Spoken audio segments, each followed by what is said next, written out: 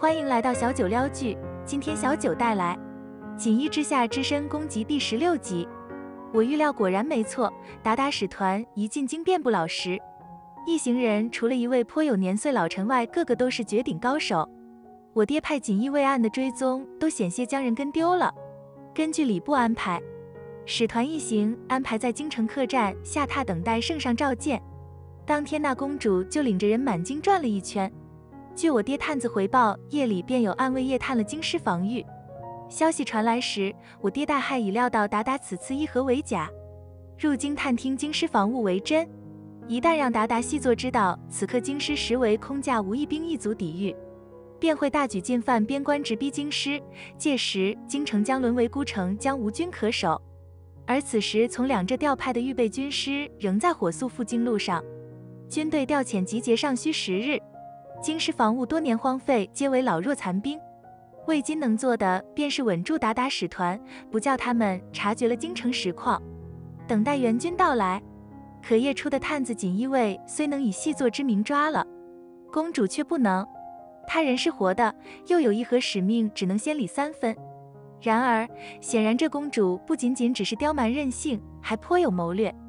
几日下来，便察觉到京城浮动的人心，还晃到各米店、铁铺查探虚实。很快，他就派探子回鞑靼复命。不过那人刚出京郊，就让我带人抓了个正着。经过一夜的审讯，才从探子口中撬出情报，形势远比我想象的还要严峻。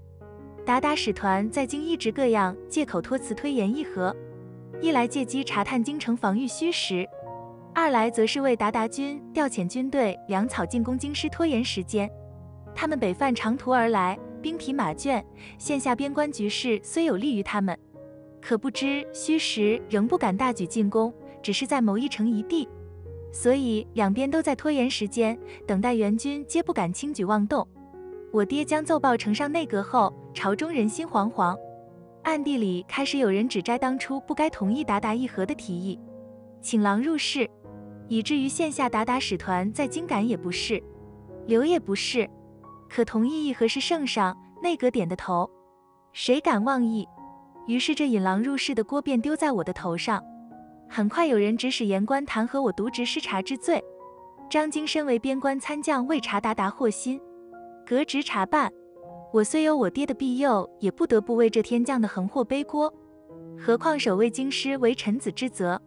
岑福的飞鸽传至府中，我还未查看信签，我爹便派人通知我那公主闯到神机营去了。我匆匆赶去，人正被堵在神机营门口闹事。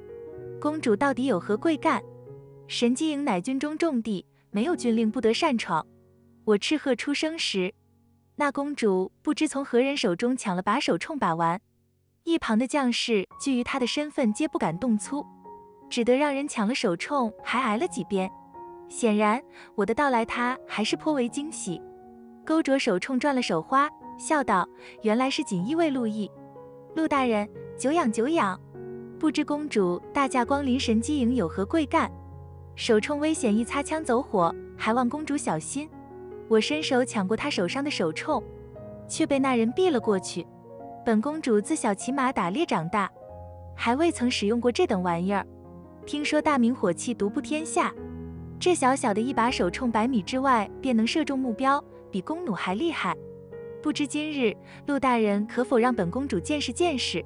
公主想见食神机营，自可去与圣上请示。旨意下来，神机营便是给公主准备一场射击演习，都不在话下。公主今日这般鲁莽硬闯，只怕丢得贵部落颜面，有失您公主的体统。陆毅，你。我不理会那公主的无礼，不由分说夺过她手中的手铳还给一旁的将士，也不理会她气呼呼的哼唧，训斥了一番，让人打得灰土灰脸的将士便离开了。很快我便知道我错了，不讲道理的女人除了袁金夏之外，谁都不能招惹。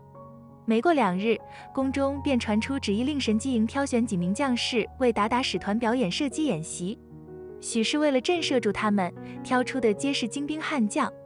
人数凑不够，还混了几个锦衣卫进去。三眼铳、鸟铳、虎蹲炮，神机营使出了看家本领，着实给大明长脸。只是我万没想到，表演完，那公主走到几位内阁首辅前行了礼，十分谦逊温和道：“听说锦衣卫经历陆毅陆大人，也非常善用火铳，素有百步穿杨之名。小女不才，对天朝这等厉害的武器十分感兴趣，不知可否让陆大人教本公主一下如何打手冲？”闻此言，我心一顿，险些以为自己听错了。可那公主话音一落，看台上的诸位大人，连奉命来镇场子的贵妃娘娘都不可思议地看着我。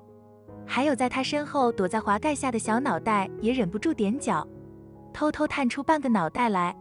场面微微静了会儿，一旁穿着大红朝服的严世蕃率先表了态：“达达公主既如此好学，陆大人又精于火器，娘娘不如让陆大人教教公主，也已是我大明对达达蒙部的友好交往。”这话一说，上升至两国和平共处，便没了回转余地。贵妃娘娘自然顺水推舟允了这请求。既是如此，那便有劳陆大人教教公主。回娘娘，公主金枝玉叶。臣惶恐，我拱手跪下请罪，因为不想再过多与这女子牵涉。而其他人却并不，他们自是认为达达使团是我带进京的，这麻烦自然该丢给我。娘娘，陆大人这是怕唐突本公主。不过我自小生在关外，也不似大明女子无爱的。